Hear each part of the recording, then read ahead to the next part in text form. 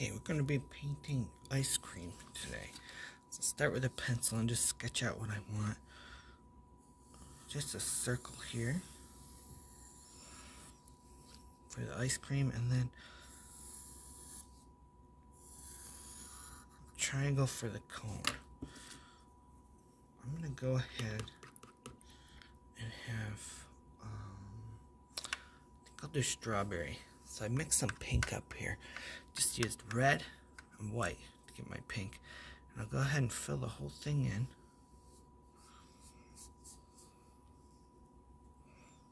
trying to stay in the lines, but if I go out of the lines, it's okay. Okay, it's all nicely filled in. We want to add like a little bit of depth. So I'm imagining if the light's coming from here, I'm going to get a little shadow down here. So grab a little more pink and I'm just kind of like dabbing on where I think the shadow might be.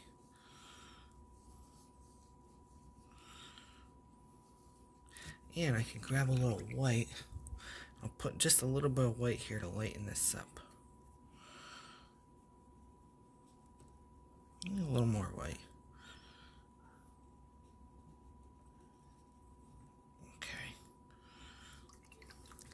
That's looking pretty good.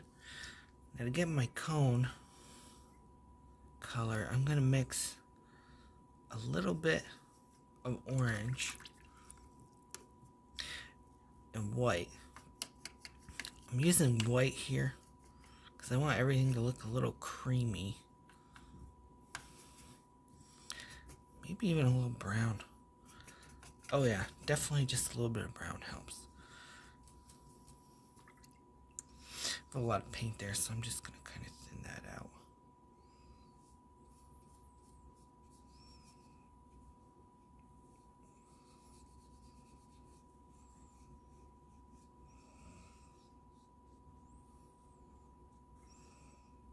Okay.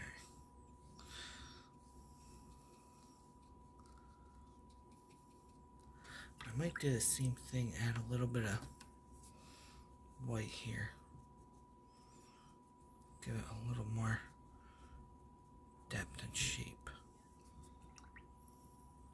Paint's not doing exactly what I wanted to do, but that's okay. Um, let's see. I'm gonna add a little bit of shadow. So I'm imagining the shadow might just the light's coming from here, might just be like this. And I'm gonna actually instead of just using black, use some colors, some darker colors, and just kind of see how that looks. I'm choosing a little bit of purple here. Go ahead and fill that in. Grab some more purple to make it dark. I chose purple because I thought it looks good with this pink. Maybe I'll throw a little red in there too just kind of see what happens.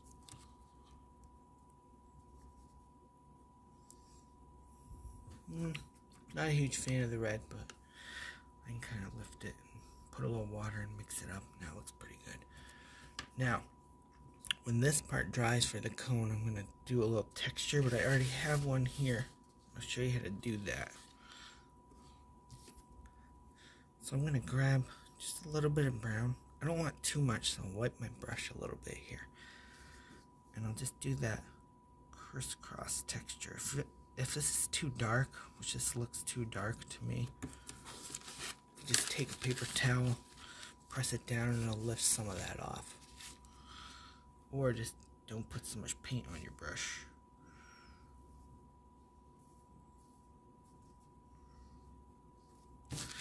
Key to this texture though is you gotta wait until your first layer dries.